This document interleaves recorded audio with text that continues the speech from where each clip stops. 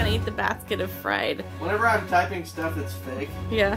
like for the stupid little things that you're having me do, Uh huh. I type things that don't make sense. In it. Oh, okay. I thought you meant when you were working. I typed in, customer called and said he's going to eat the basket of fried. I might have been about to type chicken. oh. The order sender inner guy.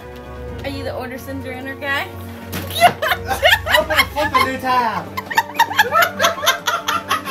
You did? Yes. Okay. did. Where's the new? Oh, did you? Oh, you really did. insanity! Open a whole bunch of new Insanity! Look at it. Oh my god.